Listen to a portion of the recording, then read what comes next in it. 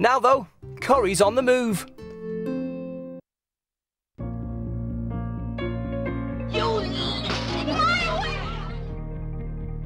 For over 50 years, it's been the most famous street in Britain.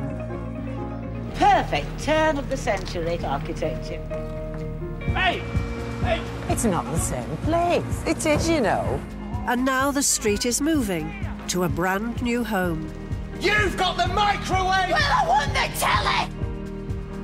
Over the past two years, our cameras have captured all the hard work There's my salon! Is that... and the emotion You can hear and feel the people who worked here. Oh, so sad. during the most ambitious relocation in television history. The expectations on us and the pressure to get it right, it's just at every level been massive. So, what happened when a national treasure decided it was time to move home?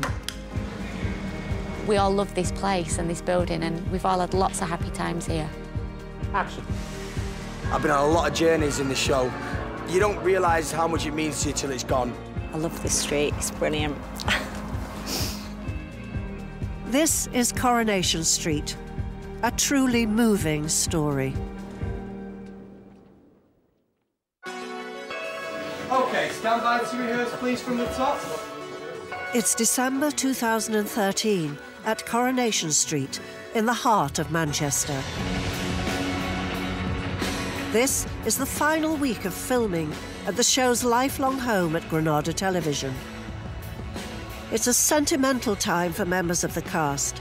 Some have spent their entire working life here. This is the green room, all packed up. It's not good. I just walked out my dressing room for the last time and it's weird. It's So weird. Action. It's a move driven by ambitions to take Coronation Street into an exciting new era of high tech production. So, over a two week break at Christmas, the show will up sticks and move its entire team of 300 crew and 70 actors to its new home, two miles away at Media City, UK. I think for sure it's the biggest move ever um, for any show, um, certainly in Britain. Financially, just the sheer logistics, the number of people involved, the expectations on us and the pressure to get it right, it's just at every level been massive. Since 1960, over 8,300 episodes have been made on this site. Moving home is a bold move, with no room for error.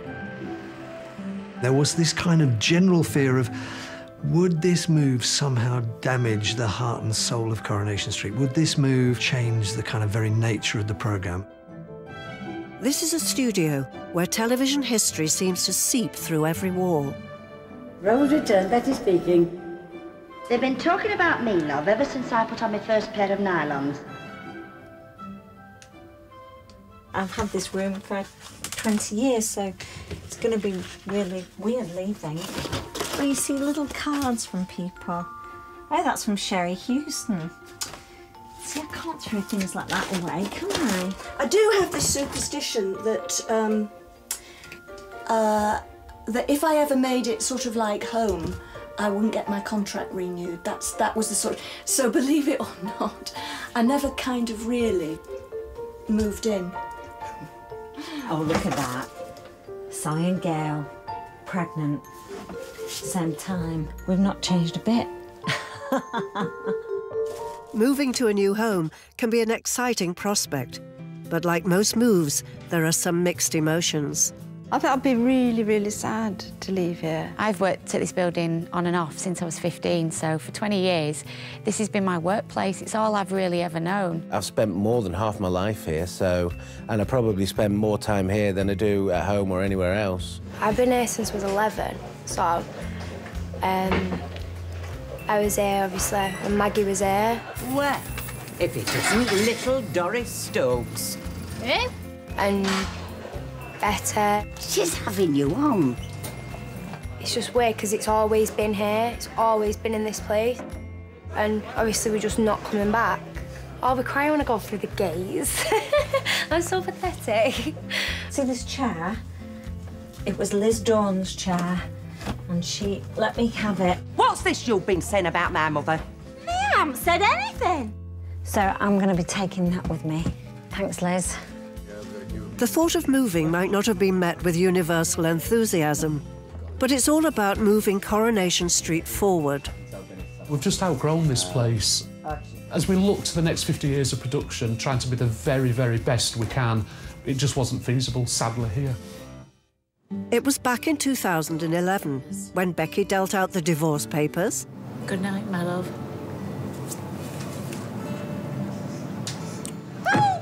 And Eileen was going off the rails. Sorry, Eileen! I'm gonna cut you out!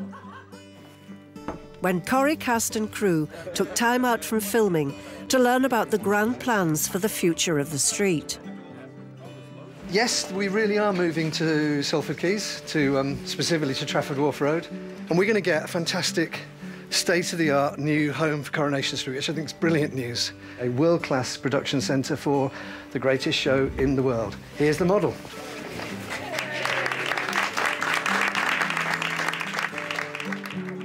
It signalled the start of an ambitious plan to seamlessly recreate the famous cobble set. Coronation Street at the moment is three-quarter scale. It, it, was practically not possible to build it to full size.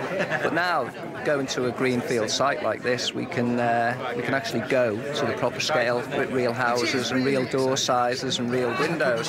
But the debate is whether that will actually create a different Coronation Street, and that's that's a big challenge. And this is where a whole new Weatherfield is going to be built. It'll be the fifth incarnation of a street that first took shape over 50 years ago in the mind of a 24-year-old writer called Tony Warren. Tony in those days was a very febrile character. He had electric energy, which of course came through in the writing. That was how he spoke, that was how he wrote, that, that was how he smoked. Did, did a lot of that. You try turning me out of my house, Mrs. Just you try turning me out. Warren set about creating a world whose characters would become regular visitors into millions of our homes for generations to come. Look here, you'll only move me out of this house when I want to go. In the meantime, go jump in the cot. You... Tony Warren turned the world of television drama upside down. Suddenly, this was drama about extraordinary things happening to very ordinary people in an unexceptional cobbled back street somewhere in Manchester. In order to find that unexceptional street, Tony set off in an Austin motor car, scouring the streets of Salford with the show's designer, Dennis Parkin. We were going out to look for a street that matched the one of my imagination that I'd drawn up in the pages of the script. They stopped the car after finding a row of terraced houses called Archie Street. There was a gang of little boys. Uh, they said, have you come to see Mrs. Colman? They all come to see Mrs. Colman. So we went, we went up the steps, and she turned out to be the mother of Eddie Colman, who was the youngest of the Busby babes in, in the Manchester United air disaster at Munich. He was the big Salford hero, and yet somehow he was in on our beginnings, and it felt right, it felt good. Actually, Mrs. Colman's chimney tops became almost as famous as her son. We used them under the opening titles of the show for many years. In 1960, there were 21 original cast members of Coronation Street. Just listen it. A lady, is that what you crack on you are these days? That's a wonderful photograph, isn't it? Ena, Minnie and Martha. Philip Lowrie was one of them, playing teenage tearaway Dennis Tanner. You just don't want work. Did you bother to look through the adverts in the newspapers? What papers? We only get the one in the morning. There's nothing in that, you know there isn't. I'm going into Studio 2, which was the original studio. I haven't been here for 45 years. My goodness. Isn't it small? This is astonishing. Last year, these previously unseen clips of life in Studio 2 were discovered in the Granada vaults. For the first time in over 50 years, they showed licensees Jack and Annie Walker in some of their earliest scenes in The Rovers. Young Kenneth Barlow's had a punch on the nose. There was a bit of an Audi, you knew, and now it's all over, and that's all there is to it. With outside filming too expensive at the time, all the interior and exterior sets were built in this studio. The whole street couldn't fit into this studio, so the houses had to be concertinaed, and of course the cobbles were painted on the studio floor, beautifully painted, and the pavement was painted on the studio floor. And of course it was all flat, so that when you had to go from the cobbles to the street, you had to sort of pretend to step up, which was really rather ridiculous. We all tried to avoid doing that. We all tried either to walk in the street or to walk on the pavement.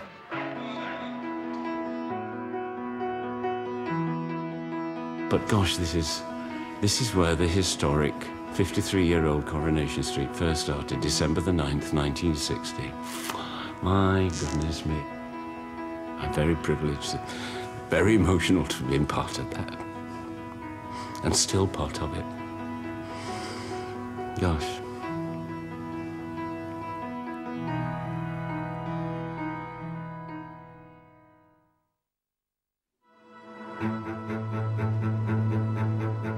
December 2013, and the week before the cast of Coronation Street take their Christmas break.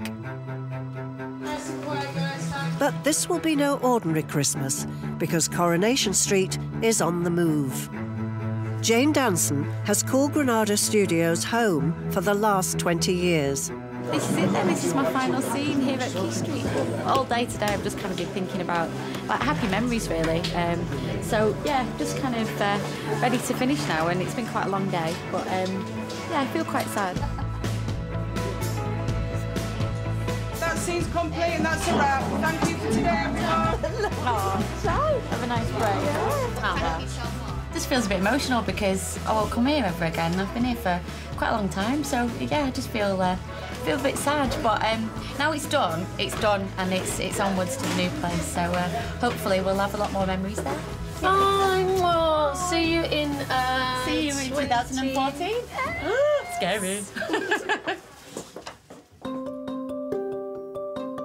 Coronation Street's new home will be here, two miles away in Trafford. Over two years ago, this site, the size of over eight football pitches, began its amazing transformation into the fifth version of the street. Originally the site of Manchester Docks, the area has since taken on a new life and is now home to Media City UK, the new broadcasting heart of the north of England.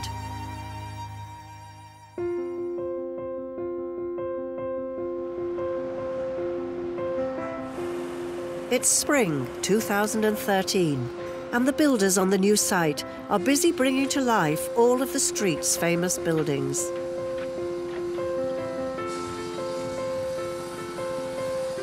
Four hundred thousand bricks have been used on the new lot, over a quarter of them reclaimed from derelict Salford streets.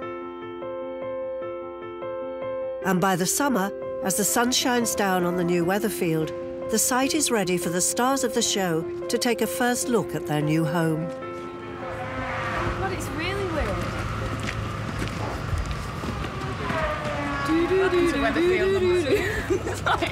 it's so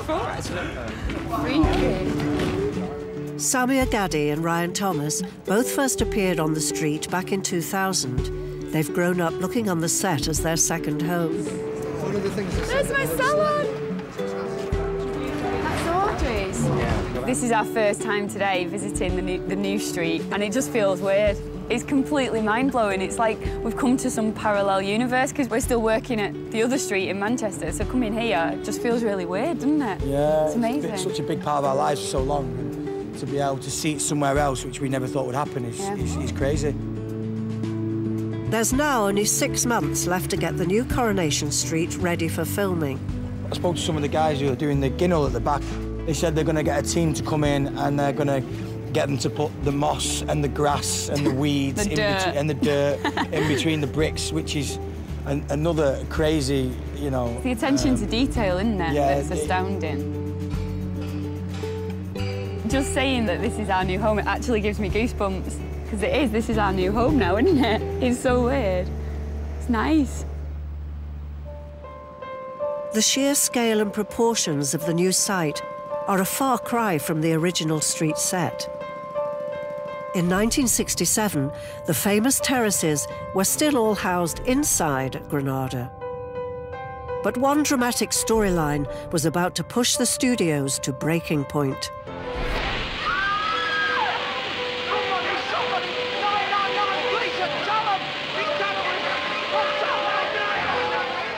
Train crash from 1967 was the biggest story that the show had done to that point. You're talking about a train coming over the viaduct and crashing and trapping people, people running around in panic, rubble everywhere, the entire cast in a panic. But also, I think, a sense behind the scenes that this was stretching them to their absolute limit and that something had to give and they couldn't continue filming those outdoor scenes indoors. Corrie needed a suitable location for its outdoor scenes, and luck was on its side. 200 yards from the studios, in the shadow of a large bonded warehouse, lay a small cobblestoned area. And more incredibly, a railway viaduct which Granada promptly rented from British Rail. To keep costs down, it was decided to use the existing wooden studio street set, which was packed up and moved out of the studio for the short journey across the site. And on the 1st of May 1968, natural light shone down on Coronation Street for the very first time. I won't see no face of the see me back on site. well, there it is, the street. But life for the wooden terraces would not last long. The wet Manchester weather hadn't helped, but the final nail in the set's coffin was a new technology bursting into front rooms all across Britain. Colour television. The advent of colour meant that they had to build a brick set because the wooden set just wouldn't cut the mustard on screen. After a brief stint in the 60s, Julie Goodyear returned to the street as a regular in 1970. It was virtually as I came back that it was going into colour. And there was a tremendous hoo-ha that uh, it looked too glamorous, would you believe? Too glamorous.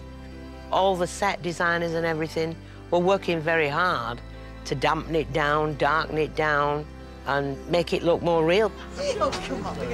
The new brick-built and third Coronation Street set made its debut in colour on the 12th of January 1970. Right, Batman, stop But more used to working in the warm studios, cast and crew struggled to enjoy filming on the outside set of the street. Oh, oh, it was, it was a dank hole. Um, there was a shed in it, and whenever you went in, all the extras would be in the shed, and they'd be round a tea urn. But steam literally rose from them. And life between takes wasn't any more glamorous for the leading ladies. We were given thermal vests and thermal nicks. But you know, the character that I was playing with very often low neck dresses, clothes, it wasn't a lot of protection. So anybody who was dressed like that during takes would be wrapped in tinfoil. You did need a good sense of humour, but it really did keep you warm, that tinfoil. But filming on the new Coronation Street set of the 1970s was still limited. The front of each famous building was simply a facade. It was a flat, so there was no back to it. There was no house. It was just a flat, and that's all it was. So you used to go through a door of the street into a field. And that was it. If you saw someone at an upstairs window, and I think memory serves that Hilda Ogden was hanging out bunting for Albert Tatlock's birthday. Top. Jean Alexander actually had to stand on a ladder behind the set to be seen in an upstairs window. And apparently, Jean Alexander actually su uh, suffers from vertigo, so it was actually above and beyond the call of duty. Throughout the 70s, as the show's popularity continued to soar, fans outside Granada Studios took their turn to try and catch a glimpse of life on set. Who's your favourite character? Uh, Annie Walker. Why? Because she's all posh. It was funny because you would be on the set and you would see uh, people jumping up and peering through a, a wooden flap. Um, obviously fighting for their turn, but they just wanted a glimpse through that. And before the Granada tours began, that was the only chance there was of seeing it. And, and all they did was jump up and down. On the other side of the fence, Julie Goodyear would spend a quarter of a century as Bet, and most of that time behind the bar of Britain's most famous pub. The Rovers always has been and always will be the beating heart of the show itself. It's a view shared by many of the legendary landladies. Good evening, Mrs. Walker. I love this set. Lots of actors in the show get very nervous about Rover scenes because there are so many cast members in each scene. But to me, the Rovers is home. Over 50 years, this building has seen it all. Births, Another little push for me, tell us, Sean. Go on by, that's it. deaths, and even devastating fires. But this piece of history will be left behind in the move, because over at Corrie's new home, a brand new Rovers is being built. The Rovers is just so special, isn't it? Whenever we try to change the Rovers, we've always regretted it. The patina on the bar, the, the things that you touch, the reality of everything. You know, every, every single thing you touch in that bar has got a history. The biggest names in British television and film have, have walked through that bar, you know. You've got to retain the fabric and the heart and the soul of the place. And if you make too many radical changes, you may lose all that and you may lose your audience. Be honest with me. Have you had any experience? God's honest truth. It was Bet that gave Liz her first job behind the Rovers bar. I'll start you tonight if you're game. I'm game. the sets could move every week and be in a different place. But once the set is built, it sort of gets this life of its own. And that's the magical thing about it. I do think after a certain period of time, bombs are forged. Well, hello, Vince. Terrific to meet you.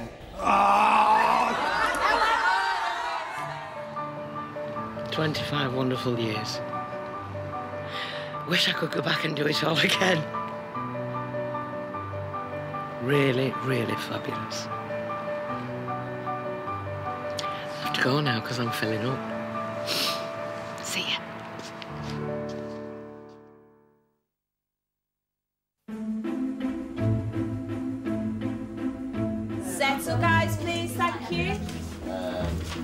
It's the penultimate day of filming Coronation Street at the studios that have been its home for 53 years. And as the move to the new home draws near, one member of the crew remembers a precious item that needs packing. You know the Corrie vine? Barbara's going to take it home over Christmas. But it's in the quiet room and we need a box. The lady who played Ken Barlow's mother, when she left, she bought them a vine, a plant. And then we moved from over there to here. And during the rubble, it got lost. And a security man found about that much of it. And we've nurtured it because they say if the plant dies, the street dies. That's the story. So as long as that plant is going, we are going. Absolutely. And that's important. So we, we look after it. Barbara, we've got the vine. Wave back to the vine for the last time. The vine's leaving Weatherfield. Say bye. Pop that boot, Barbara. And it's going to a very good home over the Christmas festive period. So it's been well looked after. There you go, my love. Thank you. Well done. Well done. There we you. go. Mm. You will look after it, won't you, Barbara? Oh, I have done for many years. You have, my darling. We have to go back and work now.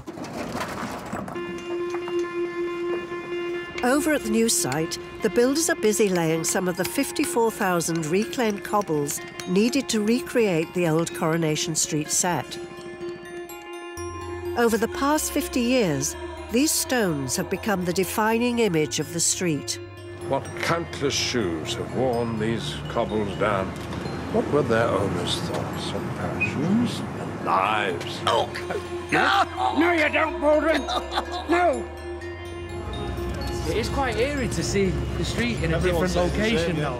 And on the 22nd of August, actors Alan Halsall, Jennie McAlpine, and Georgia May Foote are on the new set to witness the laying of the final cobble. The is the. This is the strangest thing I've ever signed. That was pretty momentous, wasn't it? Yeah, I got to write my name on a cobble. That's going in the street. That is going to be here forever. History in the making. We are. We're there. But the cobbles don't just stand in front of these famous terraces. Thousands more lie in the shadows on the darker side of the street, the Ginnel.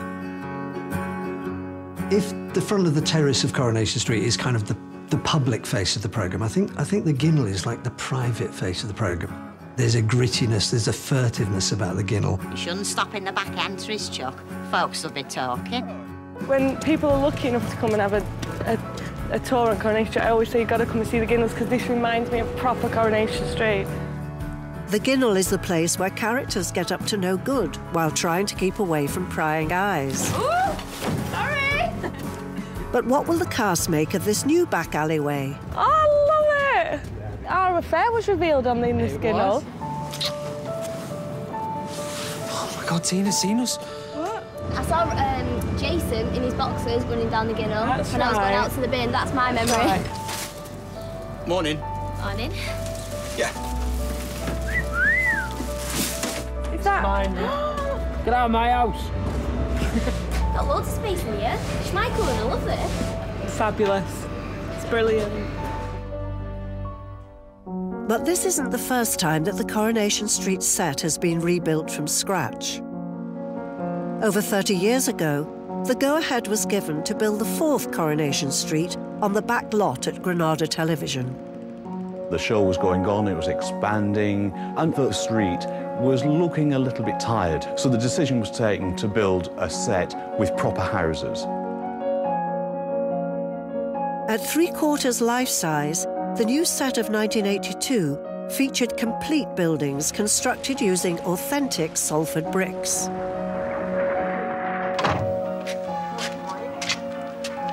Weatherfield had expanded, now including Rosamond Street and filling the gap in between the terraces, Rita's brand new number seven. Oh, what do you think then? Never knew I had such a clever husband. With the paint barely dry, the set was finished in the nick of time for a very special visitor to the street. I stood there and I thought about here, and I thought, how many people think I'll uh, I'll have a street, writers, and and then uh, on the set there'll be a, a row of houses and a corner shop and a pub, and oh my God, there's the Queen of England walking down it, and she'd come to open the new extension.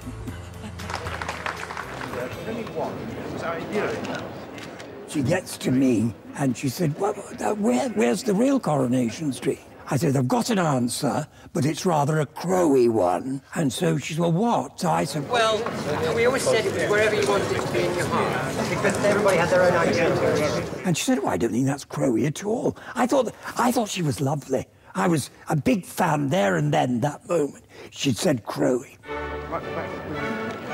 With the set decked out in red, white, and blue bunting, the Queen came face to face with Rover's royalty, including Bet Lynch, suitably dressed for the occasion. All Bet's earrings were sent in by fans. But this particular pair, there was Diana on one ear and Charles on the other. She went past, and then Philip came behind and he said, I recognise those two. I said, "Oh. I was just a gibbering wreck.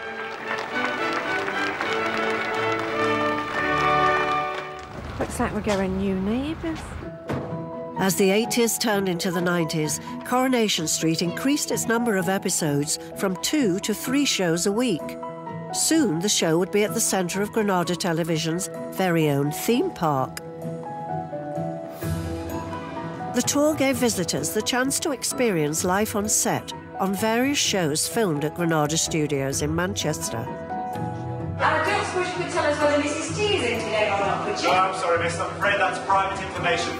People from all over the world came.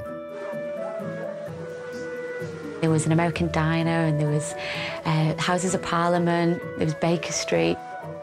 But of course, the star attraction was Coronation Street. That was the thing that brought most of the visitors into the site. I remember going on a school trip and sort of having that magical moment as like the doors opened and I walked down Coronation Street. So to end up working there was quite surreal. I remember doing a scene once and I had to run out of Underworld in a bit of a huff. I ran out to a big sign that said, quiet please, and all the tour was on the street and everybody was watching. So it was quite surreal because like one minute we were kind of like in the moment doing the scene and then the next you were like in a tourist attraction, which was a bit weird. Over 5 million people would visit Granada Studios tour. But in 1999, the gates were closed.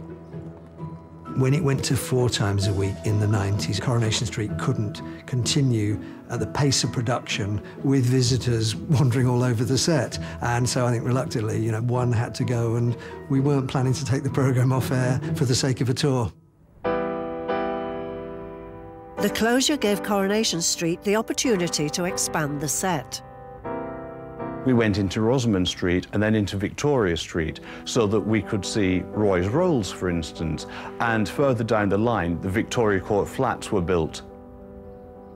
The set as we know it today has evolved and aged over the decades.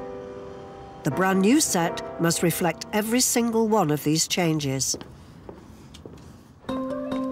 According to the show's fictional history, and like the many northern terraces of its type, Coronation Street was built in the early 1900s and given its name to celebrate the coronation of King Edward VII. And one of the really interesting challenges was how to get lots of incredibly skilled builders and craftsmen and designers to turn essentially a brand new build into something that looked like it had been there for 100 years. So, with over a century of Salford wind and rain battering the street, it's the job of these scenic artists to make sure the new set looks just as weathered as the last one. A street like this in Salford would be 150 years old or more. So we've got to kind of give that age, we've also give, give the passage of time.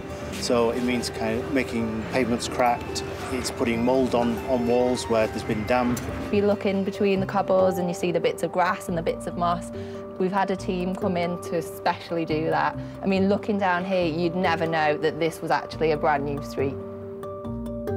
Well, just aging these bricks down and basically trying to break up the consistency of the bricks. This wall is obviously a really old wall, so the sort of more crumbly the better, really. And at the top here, you can see to create the look of peeling paint, we've actually used lining paper and peeled it back and put texture over it so it looks a bit gnarled and rubby. As the team tried to replicate every feature of the old set, they were met with one problem with very deep roots. One of the biggest things plaguing us all was the tree outside Audrey's, outside the, the salon. We're kind of going, well, how can we recreate that? The tree made its first appearance when the new shop appeared in 1990.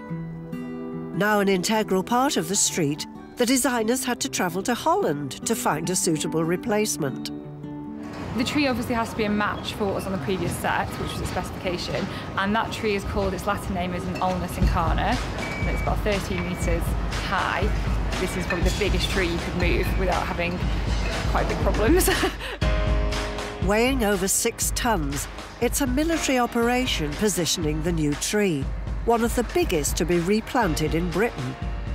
But after five hours, the 25-year-old tree is safely nestled into its new home outside Audrey's hair salon. It's that level of detail and stupidity, really, that's going to make this whole thing work. Back at Granada, it's an emotional day for actor Barbara Knox, who plays Rita Tanner, as she films her final studio scenes on the old cabin set. I've told told you. I've no idea where he is. It was in 1973 when Rita sold her first newspaper in the old shop on Rosamond Street. He changed. And by 1990, she had transferred the whole premises to Coronation Street itself. Oh, very swish. Since then, the cabin has been a central figure in the street, giving us many memorable moments of great drama and comedy. Well, I- I've got a tongue sandwich waiting at home. Fancy.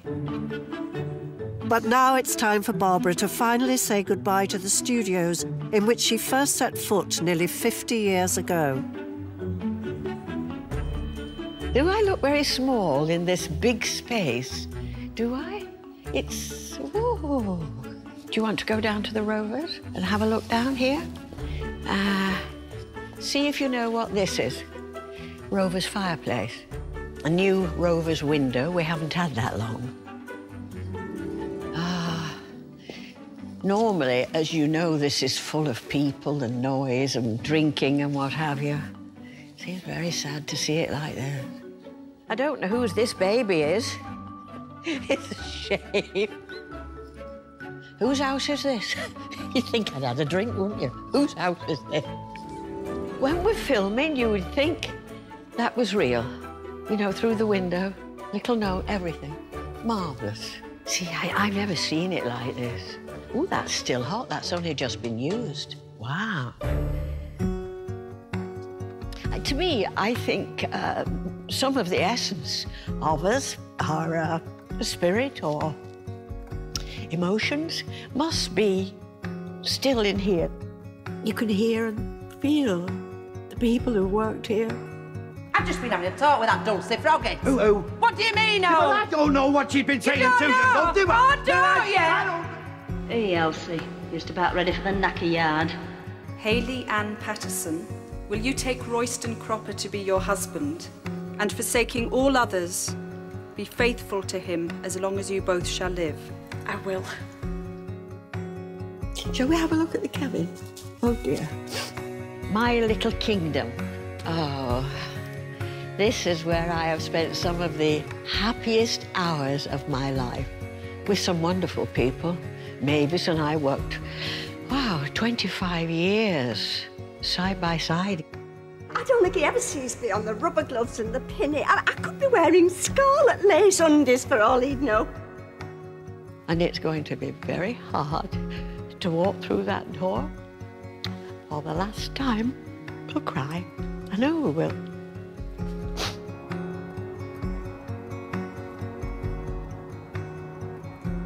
It's like a gift handed to you, really, to get in there and enjoy it and do the lovely stories.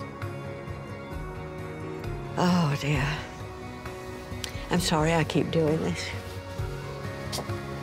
Oh, dear.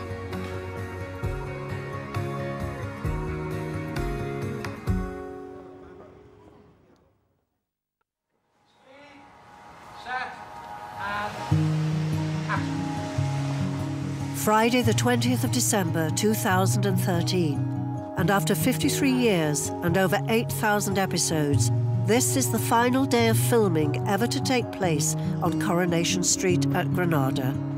Just recall on the boom. Yeah. Inside the studios, on the Rovers Return set, emotions are running high.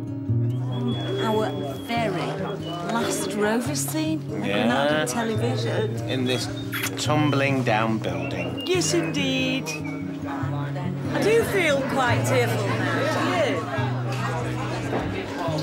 Have a Rover's napkin. Oh, thank you so much.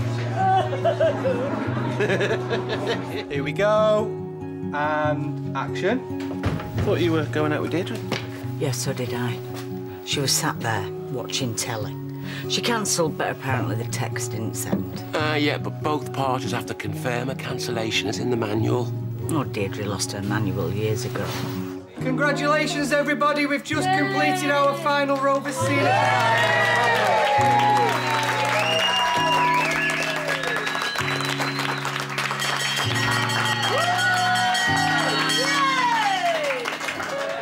Meanwhile, Just a few yards away from the studio set of The Rovers, cast, crew, family, and friends have gathered to share the final moments of filming on the street itself. Smile, everyone, for the camera. It's been the weirdest day. So strange, the vibe all day. But um, special, isn't it? Really special. For Sally Dynevor, this has been her place of work since 1985. It's just really weird leaving here, you know, where all those people of cast members who've gone and walked up and down those cobbles for years and years. It's just really strange.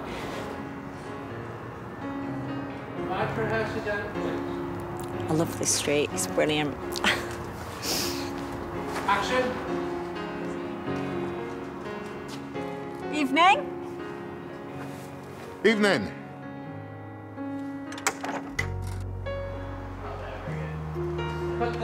This is Sally's last scene on the street. Say goodbye, Sally! It feels a little bit like it's all over. And action. Please call me back. Bye. Hello, sorry. That was clear. Boys and girls, that is the last shot of the last scene, PSE, Coronation Street. Merry Christmas, everyone!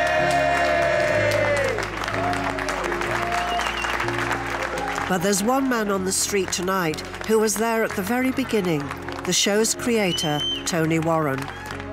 This isn't just a street of memories, it's a street full of ghosts. And the only thing I hope is to get on the right bus for Media City.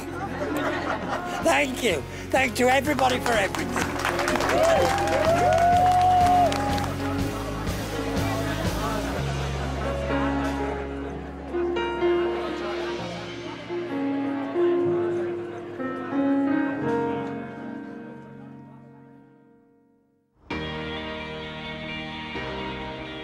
Weeks later, and two miles away, it's a brisk January morning on the new set at Media City. It's taken 3,000 people to build the fifth and most ambitious version of Coronation Street.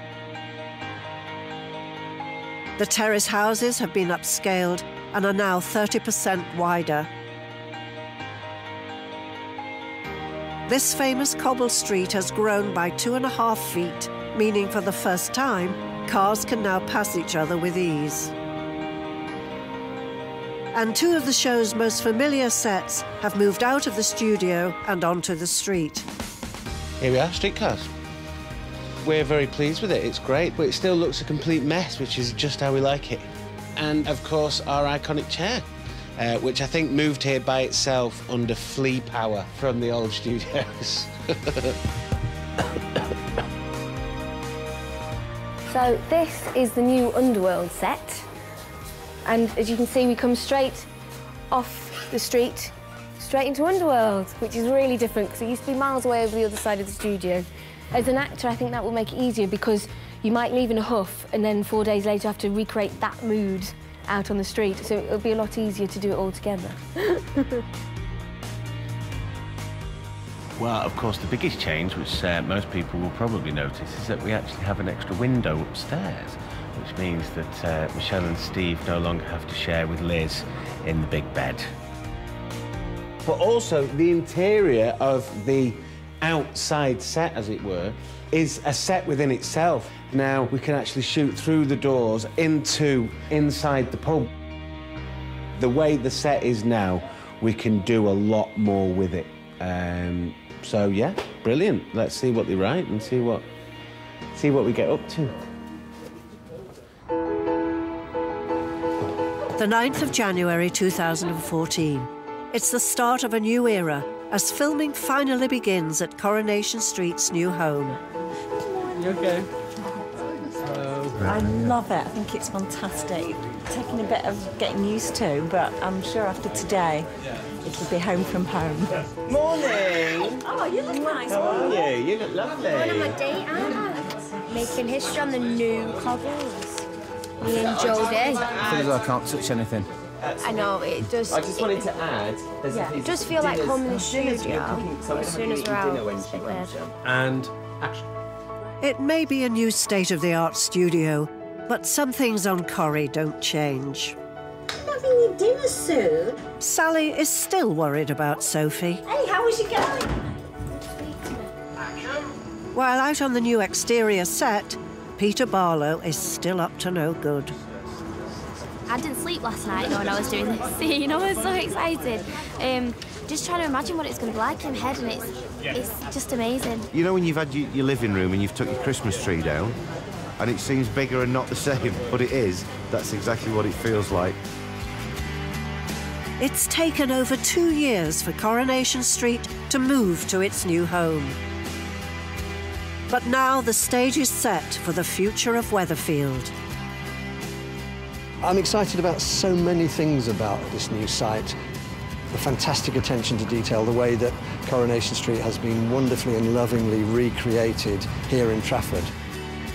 Getting here has been incredibly hard. I mean, no lies, there have been tears. Now it's all about the future and the next 50 years of making sure we're the best show on British telly, and we can do it here. In half a century, over 4,000 actors worked on Coronation Street at the old Granada Studios. I want my free drink. I'll have a bottle of stout. Wait a minute, Ena. That was only for them as was here. What are you talking about? I'm all as here in spirit. Only 70 of them have made the move. Je m'appelle Raquel. Voulez-vous coucher avec moi ce soir? But the spirits of times past will always be with them, wherever Weatherfield calls home. Right, who's proper? And the drama's continuing Coronation Street tomorrow night at half seven. Coronation Street's old home in Quay Street will be open to the public later this year, and you can find out more about that at itv.com slash coronation street slash tour. Stay with us, the latest news and weather is on the way next.